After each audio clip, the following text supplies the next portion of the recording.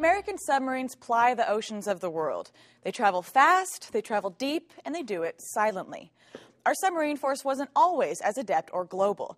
It had been a coastal patrol force, but during World War II, subs became a strategic part of our arsenal, accounting for the majority of the shipping sunk in the Pacific theater. The boats in our fleet changed during the war, as did tactics, ordnance, and most importantly, training. The story of that era is told by retired Admiral Maurice Rindskopf, who was the youngest fleet boat commander during World War II.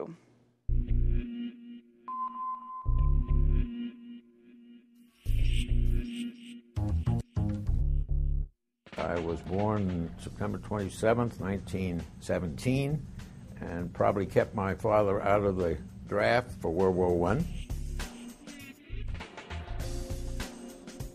there are three, really three aspects to learning to be a submariner. One is to operate the ship on the surface. Second is to learn to dive it. And the third is to make torpedo attacks.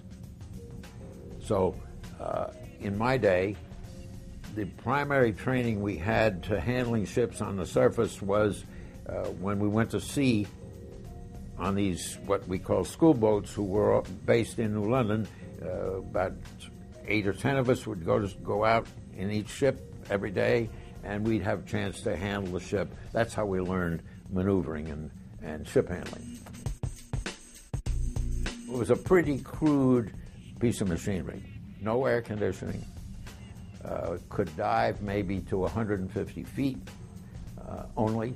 Uh, make about 12 knots on the surface and about eight submerged for a very short time the hull was riveted, and every time we dove, you could hear it creak, and occasionally you'd see a little water weeping in. Uh, if you were at 100 feet, you might get a little weepage. It had three bunks for officers and about 20, 15 or 20 bunks for the men, so that they all had the hot bunk, as it's called. Uh, three, three guys using two bunks, because one was always on watch. The food, at that point, even a submarine, was superior. And that was one of the come ons to people who uh, got into submarines. They got better food, they got paid a little bit more, not much.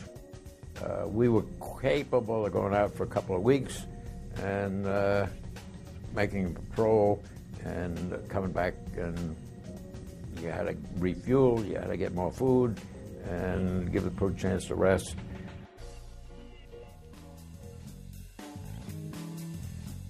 It's quite clear that the powers that be in Washington realized that the submarine force would need more people as time went on because we were getting involved. The process during the war for the submarines was go out and make about four patrols, and that meant approximately a year. 60 days at sea, about 25 days in port, sometimes maybe in Pearl Harbor. Attacking submarines you treat it just like any other ship.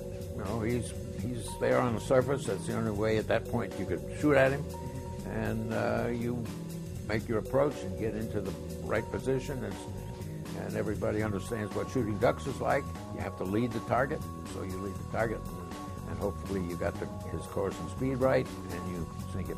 And we did sink several Japanese submarines in in the Pacific. We had innumerable failures where the torpedoes should have gone off. On the very first attack we made, we fired at a small uh, escort vessel. Perfect shot, nothing happened. Torpedo ran too deep and it didn't, it exploded, didn't uh, recognize the signal and it didn't go off.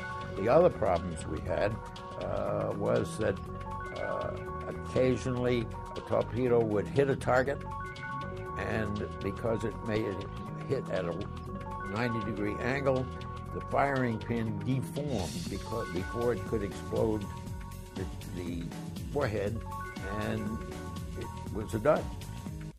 By the war's end, the torpedo problems had been fixed, and the submarine force in the Pacific Theater had accounted for 30% of the Imperial Navy's shipping sunk, as well as 60% of the Japanese merchant marine sunk. After World War II, Admiral Rindskopf continued his naval career at the dawn of the nuclear navy along came Captain Hyman Rickover, who was a submariner out of the class of 1922, uh, became an engineering officer, and it was his almost independent decision to somehow put nuclear power into a submarine. This, this happened in, in the late 40s because by 1955, the first nuclear powered submarine went to sea. Uh, that was Nautilus. She had a hull just like the other submarines, but she was powered by a reactor that gave her essentially uh, unlimited un- underwater endurance and much more speed over, over a longer period of time than any submarine could before. Uh, from there, they started saying, well, if we could improve the hull form, we could go better, even faster.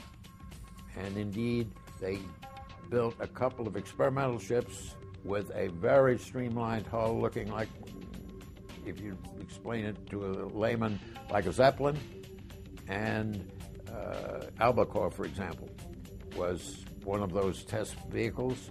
Uh, she had she was a small ship, had a lot of battery power, and extremely well designed, fine hull, and she could make much more speed for much longer time than anything that any submarine propelled by a battery before. But they used that ex- that experiment to then couple that new hull form to the nuclear power.